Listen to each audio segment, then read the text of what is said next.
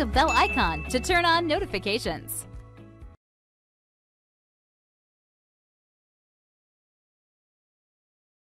If you're already a Windows 10 user and you would like to upgrade to Windows 11, that upgrade is available for free with some caveats. There are some very specific system requirements that you need to meet in order to run Windows 11 on your PC. Your PC needs to have 1 GHz of CPU, 4 GB of RAM, and 64 GB of storage. If you're not sure if your PC meets these requirements, then there is a simple check that you can do.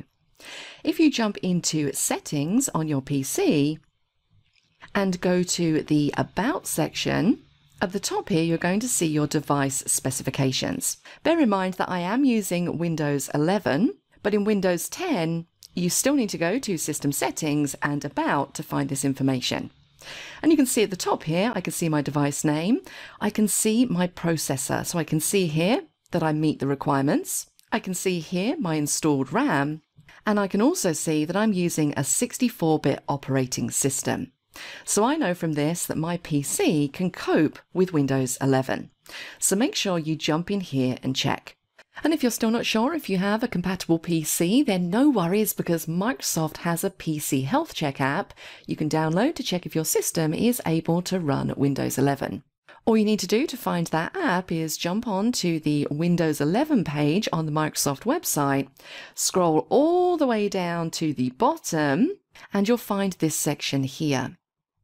And this is the link you need, download PC Health Check app. So this is a little app that you'll need to install. It just takes a couple of seconds. And then you can run through that app and it will tell you if your PC is compatible with Windows 11. And if your computer can't be upgraded to Windows 11, you will see the reason why when you run this check. So how can you upgrade from Windows 10 to Windows 11? Well, Windows 11 is a free upgrade to Windows 10 users who have a compatible system and the software will be rolled out slowly over the coming months. So it's quite hard for me to say exactly when the update will be available to you. One way that you can check is to again jump into your system settings, go into Windows Update, and then check for updates.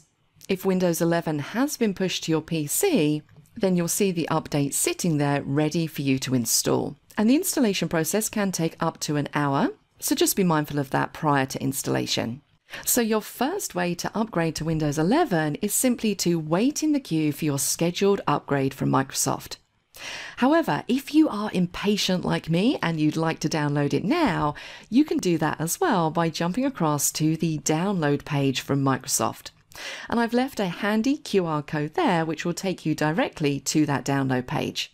Your PC will require a restart after you've installed Windows 11, and as with any upgrade to your operating system, you'll be walked through the process of installation.